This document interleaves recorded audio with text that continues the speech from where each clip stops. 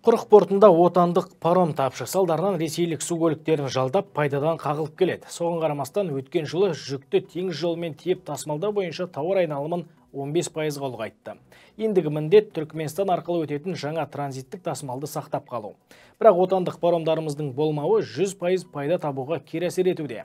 Мамандар бағдарламалардың тиімділігін арттыру үшін Қазақстанға жүктен бөлек жолаушылар тасымалын дамыту қажет деп есептейді. Құрық портында кеме қатынасының болашағы туралы келесі материалда. Бүгінгі таңда Каспий теңізінде кеме қатынасы бойынша Әзірбайжан көш бастап тұр. Оларда 15 паром бар, әрі екі заманауи кешен салынуда. 2020 жылы еліміздің логист мамандары Иранмен паромдық байланыс желісін іске қосты. Енді Махачқалаға дейінгі жаңа бағыт тұрақтанды. Осы орайда отандық су көлігіне қажеттілік туындайды. Олай етпесе табыстың басым бөлігі кеме жалдауға кетіп жатыр. Надо понимать, что это паромная Барлық паром желісі Әзербайжан кемелерінің еншісінде екенін түсіну керек.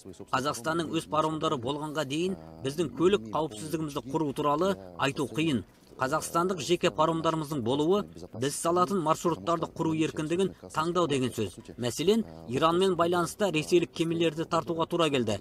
Ол кемені осы жолы Махачқала, Құрық, Түркмен ұшпұрышын қалыптастыру үшін Түркмен тарапымен келіссөздер жүргізіп жатырмыз. Және үш портты қосу арқылы жұмыс істей бастаймыз.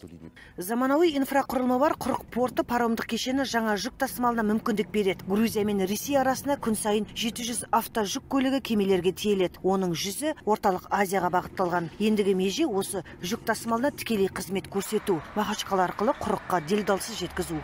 Біздің порт арқылы мына бұрынғы жібек жолы жолымен яғни қытай мемлекетінен біздің порт арқылы әзірбайжан мемлекеті арқылы грузия мемлекеті арқылы европаға жүктер жіберіледі. Қазіргі таңда біздерде мында транскаспийский международный маршрут деген бар. Сол бағытта өте жақсы жұмыстар жасалынуда. Бұл деген біздің тұтынушыларға өте жақсы жеңілдіктер уақыт жағынан өте тиімді аз күндер ішінде а нүктесінен б нүктесіне жүктердің тез тасымалдауға тез апаруына ықпал етеді Нұрлы жол бағдарламасы бойынша 2025 жылға қарай көлік логистикасын дамыту үшін екі паромның құрылысы салынады. Отандық тасымалдаушылар оған 200 адам мен жүк сияды дейді. Түркмен әдісі бойынша салынуы тиіс су көлігі Маңғыстау туризмін дамытуға серпін береді. Жазира Әбіл, Сәбит Амангелдіұлы, Атамекен бизнес арнасы, Ақтау.